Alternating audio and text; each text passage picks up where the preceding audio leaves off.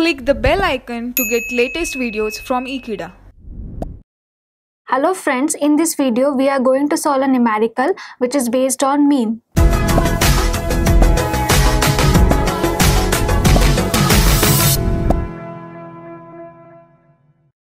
So far we have discussed about the expectations of any kind of random variable.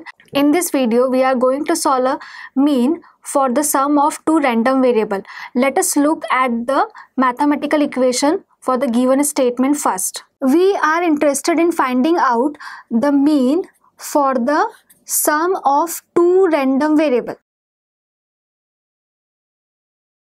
Let's say capital X is a random variable and capital Y is also a random variable.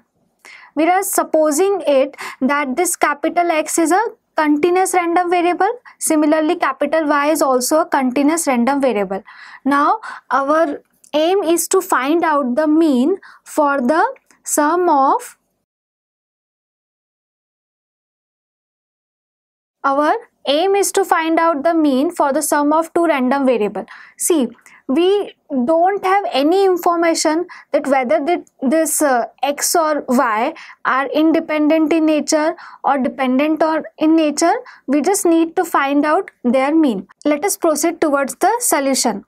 As we know that by the definition of mean that if i have a random variable let's say capital x e of x then the mean of the capital X is defined as minus infinity to plus infinity x fx of x dx such that this whole mathematical term is defined for a single random variable. If such a random variable consists of more than one random variable, that particular PDF, this is nothing but the PDF in this whole chapter we discussed about this pdf for the random variable. So when we are talking about a single random variable this pdf is nothing but fx of x. But when i am interested in finding out the mean for the two random variable then this pdf will be replaced by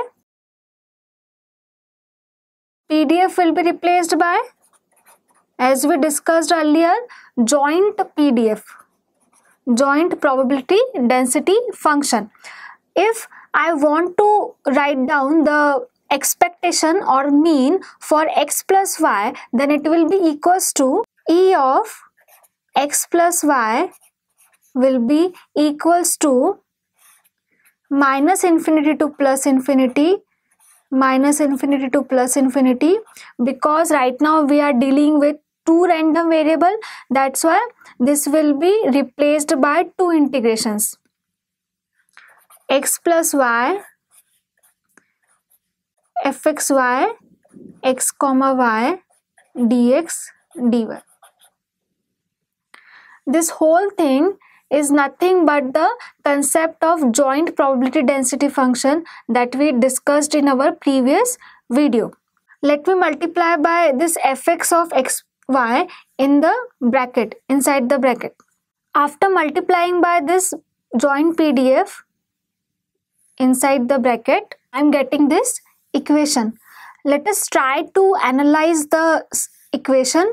Let's say this if i am let's say this equation. This is our equation this whole term I am denoting it by equation so that we can analyze this equation separately. Let me write down it first.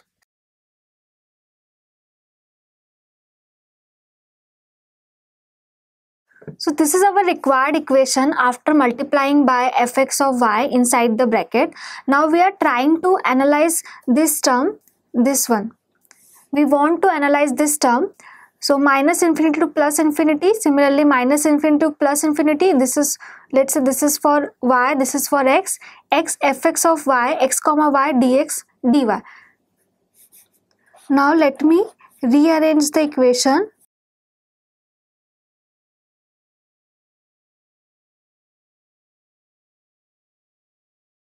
After rearranging the equation such that taking x here. And first of all I am solving for y minus infinity to plus infinity fx of x comma y dy dx. When we are talking about joint uh, PDF as we know that in our all the previous videos we discussed this topic such that this function is consist of x and y. It means that we have two random variable. When two random variables are varying such that in this way that graph consists of this x and this y.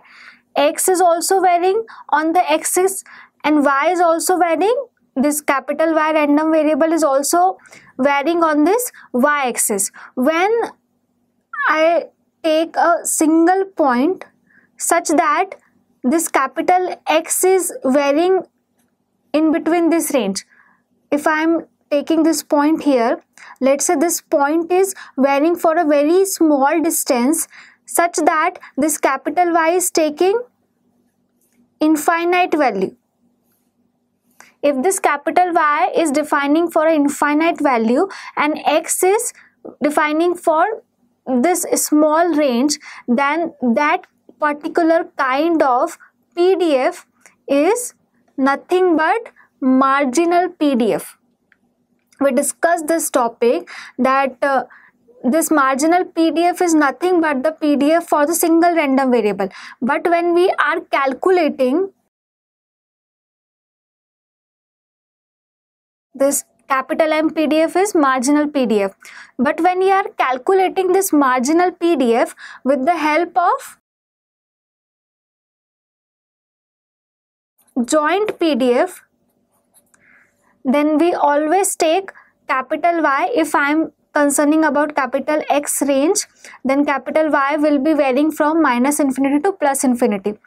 This marginal PDF is nothing but uh, PDF for a single random variable as it is calculated with the help of joint PDF that's why it has a different name which is known as marginal PDF. So we can say that when this fx of x comma y dy and when y is varying from minus infinity to plus infinity, such a PDF is nothing but a marginal PDF for capital X. So I can say that this minus infinity to plus infinity x, this will be replaced by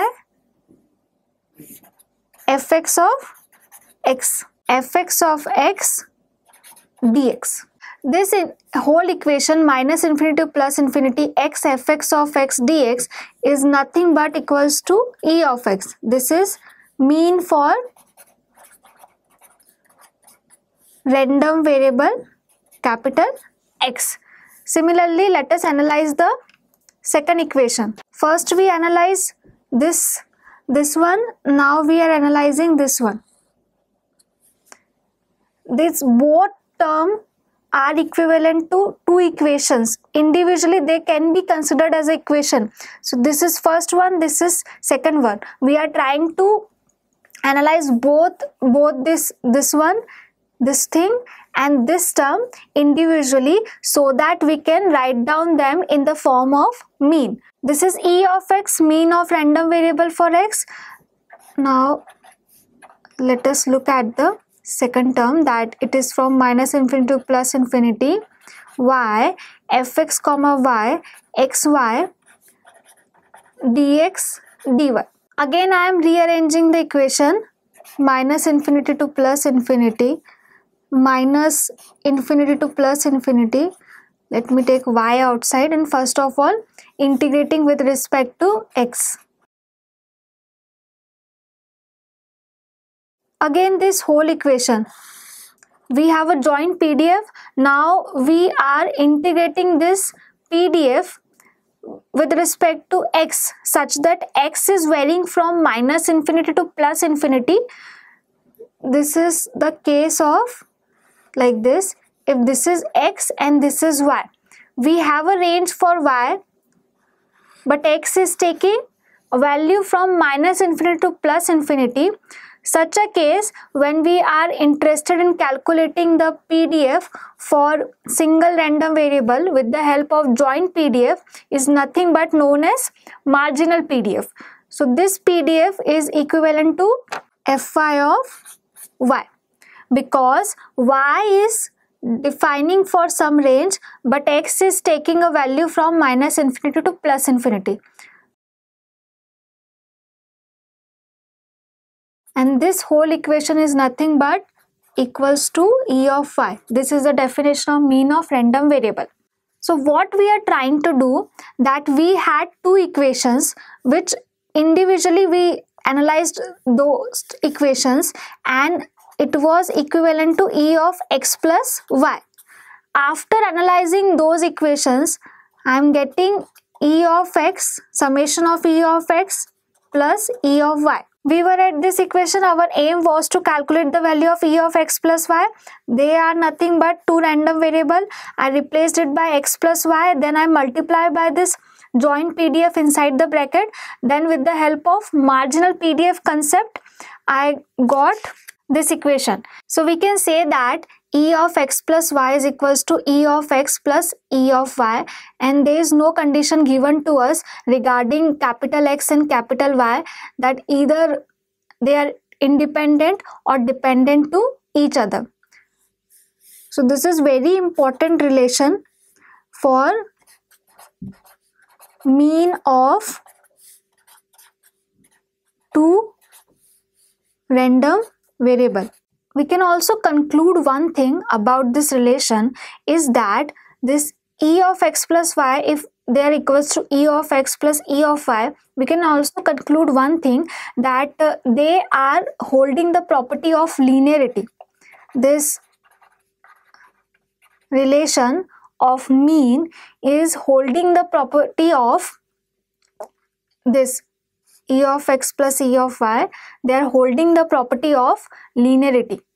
And it is very important concept regarding the numericals. Whenever we come across such kind of condition that we have the sum of two random variables and we want to calculate the mean it's very easy to calculate the mean of sum of two random variable just by calculating individual mean e of x and e of y we can easily calculate their summation so linearity property is holding by them